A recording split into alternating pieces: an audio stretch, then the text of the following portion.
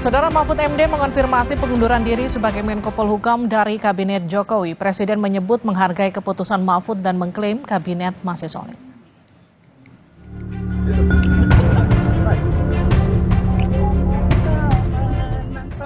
Mahfud MD Rabu siang mengumumkan pengunduran diri sebagai Menko Polhukam saat berkampanye di Lampung Tengah.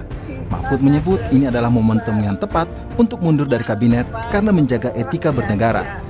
Meski demikian, Mahfud telah meminta waktu bertemu Presiden untuk menyampaikan pengunduran dirinya secara tatap muka. Hari ini saya sudah membawa surat untuk Presiden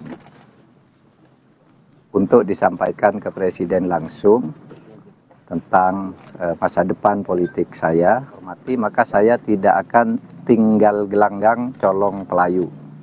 Saya akan pamit baik-baik dan saya akan sampaikan surat ini begitu saya diterima dijadwalkan diterima oleh Presiden. Ayo, yaitu tadi karena etika. Etika itu adalah ekspresi dari moral. Etika itu adalah ekspresi dari kejujuran. Presiden Jokowi merespons pernyataan Mahfud mundur dari kabinet. Jokowi menyebut menghargai hak Mahfud MD dan mengakui kalau kabinet masih solid. Apa? Tanggapannya gimana Pak Mahfud MD? Itu hak dan saya sangat menghargai. Sampai detik ini saya belum mendapatkan laporan. Ya, Kabinet sih Pak. sangat solid. Ya.